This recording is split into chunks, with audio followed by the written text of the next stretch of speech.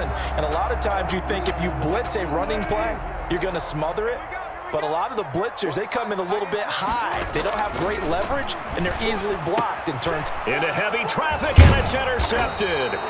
Picked off by Vonn Bell. And a big turnover there as his guys will get the football back. First and 10. Second straight drive now here, Charles, that have ended with an interception. And I just wonder, because I don't think it's going to rattle him necessarily, but I also wonder if it's going to nerve him a little bit. Does it lead to another one?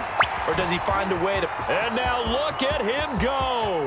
30, past the 20, and all the way in for a